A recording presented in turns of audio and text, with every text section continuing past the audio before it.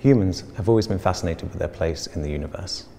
From our perspective, it appears as if the sun and the stars revolve around us, and for most of human history, it was thought that the Earth sits at the centre of the universe. Four centuries ago, however, the Earth lost this prized position when it was discovered that the Earth orbits the Sun and not the other way around. In the century that followed this discovery, great progress was made in understanding the structure of the solar system, and by the 18th century, models such as this were being made in order to communicate these discoveries. This is an early form of planetarium known as an orrery. It gets its name from the Earl of Orrery, who owned one of the earliest examples of these machines. When this handle is turned, an intricate geared mechanism causes the planets to rotate around the Sun. Each planet moves at its own speed according to the mass and distance from the Sun of the actual planet.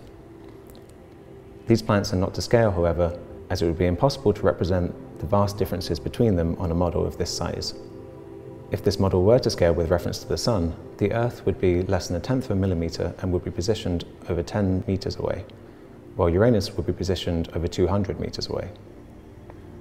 In the centre of the model, we have the Sun, then Mercury, Venus, Earth with its moon, Mars, Jupiter with its moons, Saturn with its ring and moons, and finally Uranus with its moons.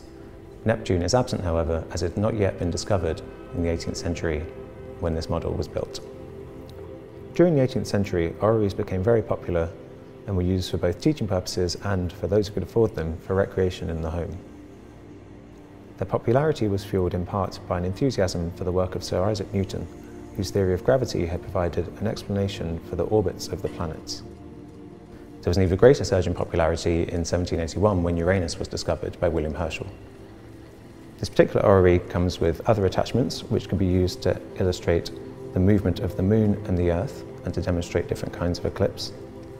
And a second attachment which can be used to illustrate the revolution and rotation of the Earth and to demonstrate the changes in the seasons.